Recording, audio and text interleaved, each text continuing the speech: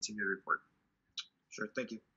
Um, so we continue to, uh, you know, on the COVID front, we're continuing to work under the uh, our local county public health orders uh, under the under the regional closure.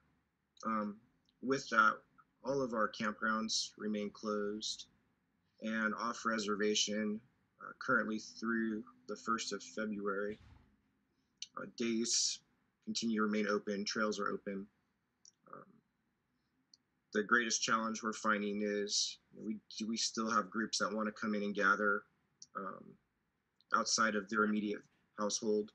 Uh, so our our staff uh, continue to provide education um, and inform those folks and, and ask them to remove themselves when we do find that occurring. Uh, working closely with our concessionaires and partners to provide relief uh, as as this continues.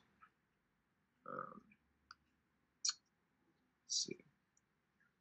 We've had several of our staff receive vaccines so far.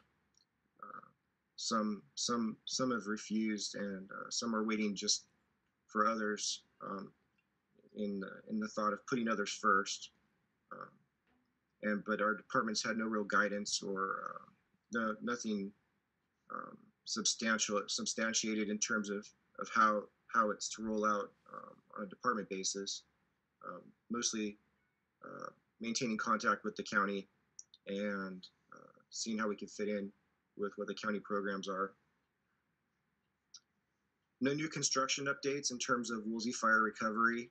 Uh, just you know, we have, like I've said before, we've had uh, prioritized Reagan Ranch and our operational facilities uh, for lifeguards and maintenance staff at Leo Carrillo State Park, and continuing to work with the civil engineer, still assessing uh, infrastructure needs there.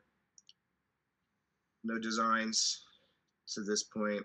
Um, and other than that, um,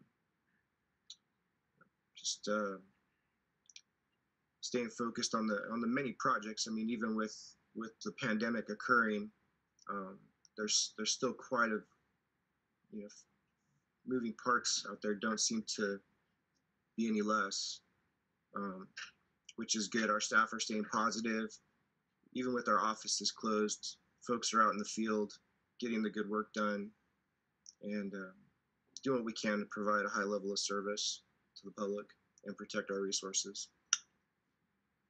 Okay, thank you. Questions or comments on the report?